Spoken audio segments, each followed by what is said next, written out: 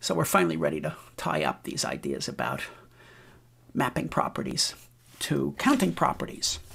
And let's begin with the remark that we already made, that if there's a bijection from one set to another, if there's a bijection from a finite set A to a finite set B, then A and B have the same size. By the way, those vertical bars, absolute value of A, when it's a set, refers us to the size of the set for finite sets. So if it means if A has n elements, then the uh, absolute value of A is n. Okay, let's use this bijection idea immediately. Here's a nice example. Suppose you want to figure out how many subsets are there of a finite set A. Uh, and suppose you didn't know yet. All right, so what we're asking about is what's the size of the power set of A? Remember, the power set of A is all of the possible subsets of the set A. Well, suppose A has three elements. What does the power set of A look like? If capital A has elements little a, b, c, it's a set of size 3, then the power set of A is going to have one subset with no elements, three subsets with one element, they're listed there. It's going to have three more subsets with two elements and one subset with three elements for a total of eight subsets in the power set of A. So let's see what the counting argument in general would be. So suppose that A has n elements, and we'll number them from A0 up through AN minus 1, because computer scientists usually zero origin index.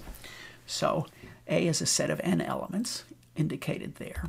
Suppose I have some arbitrary subset of A. Let's suppose that it has A0, then there's no A1. That's what the space is for. It has A2, it has A3. It doesn't have A4 and it goes on for a while in some uncertain way, and it ends, it actually has the last element, an minus 1, in it.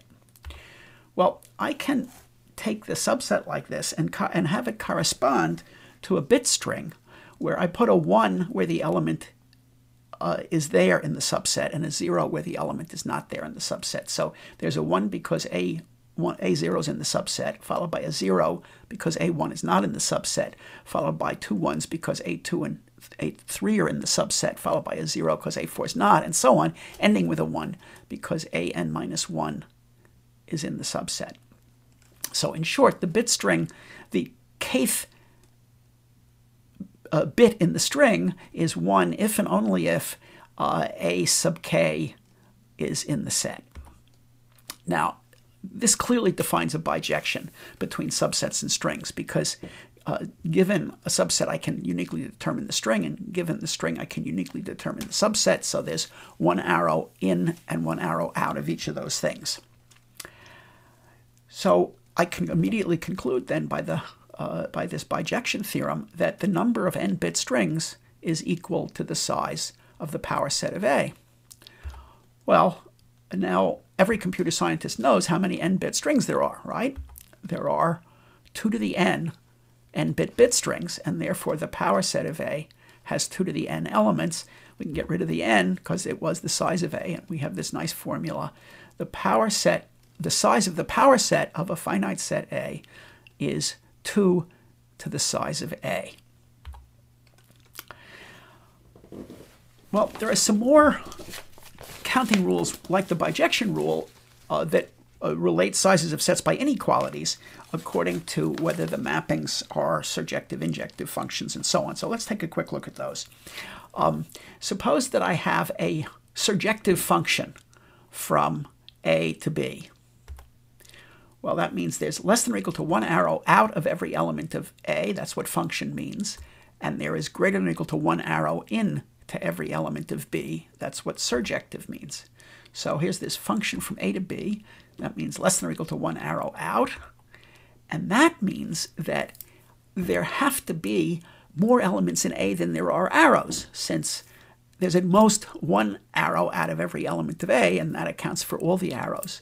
So the size of A has to be greater than or equal to the number of arrows when you have a, uh, a partial function. When it's a surjection, that means that there's an arrow coming into every element of B. That means that there have to be at least as many arrows as there are in B because everything in B has at least one arrow coming in. So if you look at these two pieces, the size of A has to be greater than or equal to the number of arrows, uh, and the size of B has to be less than or equal to the number of arrows. Putting them together, we have the mapping rule for surjections. If I have a surjective function from A to B, it means the size of A is greater than or equal to the size of B for finite A and B. Well, the same argument goes for injections. With an injection, I have less than or equal to one arrow in. And what does that tell me? Well, if it's total, then there's at least one arrow out of everything. And that means that the size of A has to be less than or equal to the number of arrows, because every element in A contributes an arrow, maybe more than one. Okay, if it's an injection, there's less than or equal to one arrow coming into each element of B. That means that uh, B had better be big enough to catch all the arrows, so the number of arrows has to be less than or equal to the size of B. Put those two inequalities together, and you find that if you have a total injective relation from A to B, that implies that the size of A is less than or equal to the size of B for finite A and B. The statement here that it's a total injective relation is for generality, but the truth is whenever there's a total injective relation, there's also a total injective function. Uh, I'll leave that to a class exercise to work out.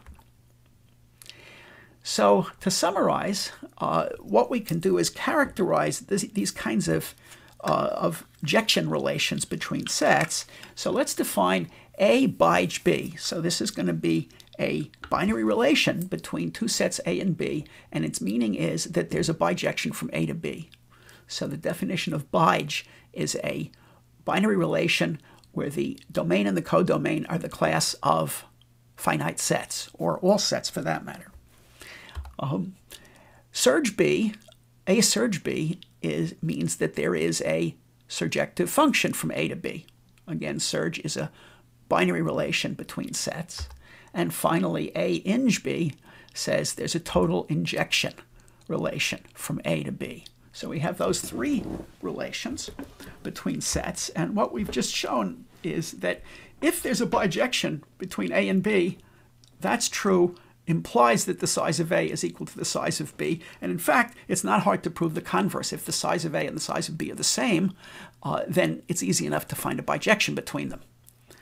Um, similarly, if there's a surjection from A to B, that's true if and only if the size of A is greater than or equal to the size of B.